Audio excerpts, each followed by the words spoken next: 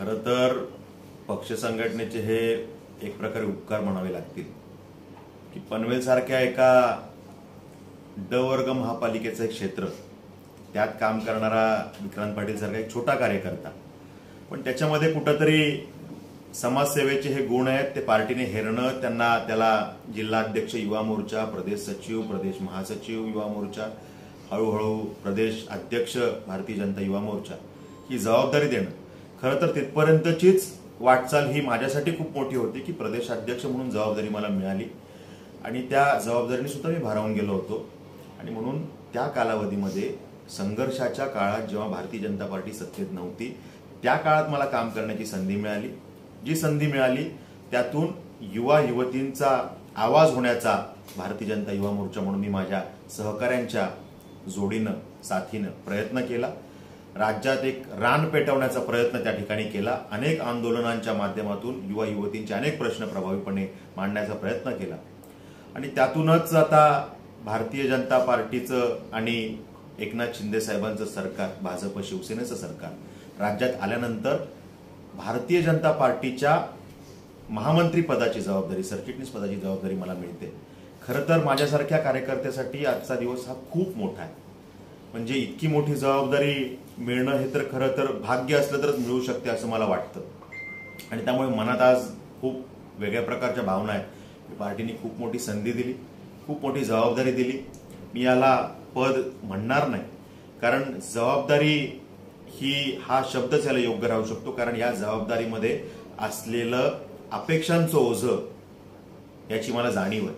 माझ्या नेतृत्वाच्या माझ्याकडनं असलेल्या अपेक्षा माझ्या मित्र परिवाराच्या माझ्याकडनं असलेल्या अपेक्षा महाराष्ट्रभरातल्या युवा मोर्चाच्या कार्यकर्त्यांच्या माझ्याकडून असलेल्या अपेक्षा पक्ष श्रेष्ठींच्या माझ्याकडनं असलेल्या अपेक्षा या सगळ्या अपेक्षांचं ओझं मला समोर दिसतंय.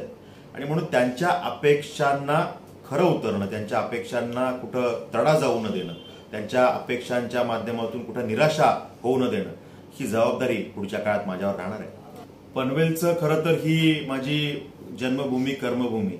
या पनवेलनी मला भरभरून प्रेम दिलं. म्हणजे मी ज्या प्रभागातून निवडून आलो पनवेलच्या जनतेने मला खरं तर हृदयात स्थान दिलं. पनवेलच्या जनतेचे उपकार तर मी कधीच विसरू शकणार नाही कारण पनवेलकरांनी मला आशीर्वाद दिले मी नगरसेवक झालो त्यामुळे मी उपमहापौर होऊ शकलो आणि त्यामुळे मी राज्याच्या राजकारणात माझा कुठेतरी ठसा उमटवू शकलो.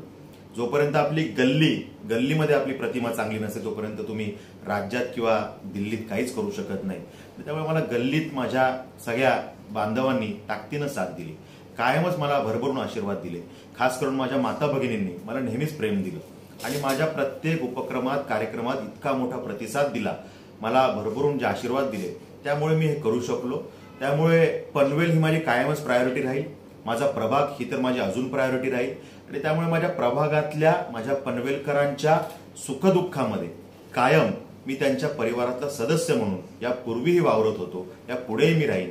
आणि त्यामुळे त्यांच्या एक हक्काचा माणूस त्यांच्या परिवारातला माणूस हा आज राज्याच्या कुठंतरी व्यासपीठावर पटलावरती एक चांगलं काम करतोय. पनवेलकरांनाही ह्याचा नक्कीच आनंद असेल माझ्या प्रभागातल्या माझ्या बांधवांना नक्कीच याचा आनंद असेल की भारतीय जनता पार्टी जी जगामध्ये देशामध्ये नव्हे जगामध्ये एक नंबरची पार्टी आहे ज्याचं नेतृत्व सन्माननीय पंतप्रधान नरेंद्रजी मोदी करतायत.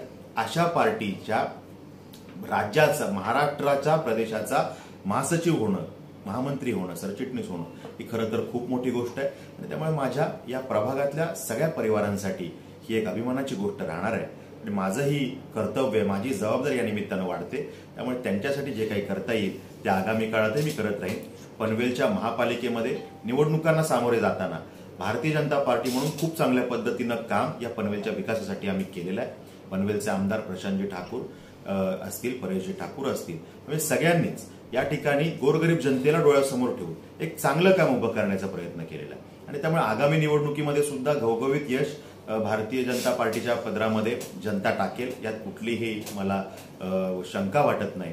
आणि राज्यभरामध्ये सुद्धा भारतीय जनता पार्टीच्या माध्यमातून सगळ्या नगरपंचायती नगरपालिका जिल्हा परिषदा किंवा महापालिका यामध्ये सुद्धा भारतीय जनता पार्टी नंबर वनची पार्टी झाल्याशिवाय राहणार.